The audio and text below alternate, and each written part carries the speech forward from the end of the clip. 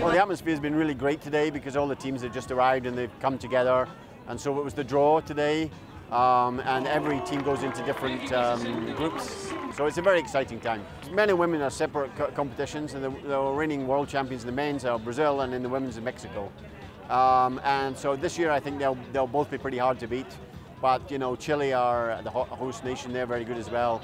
But the beautiful thing about the Homeless World Cup actually is that any team could win because um, each team is new each year, so you don't know who the players are. So there's no form, if you like. Just a, a, bonding that happens right away. People are coming from different countries in the world, from miles apart, but they're bonding together because they're homeless and they're excluded. So they, they understand where each other's coming from, and that's what brings them together. And I think you'll see in the coming week there'll be competitive games, but a minute or so afterwards, everyone will be together again. Um, so I'm really forward. This is way beyond wildest dreams, our 12th event.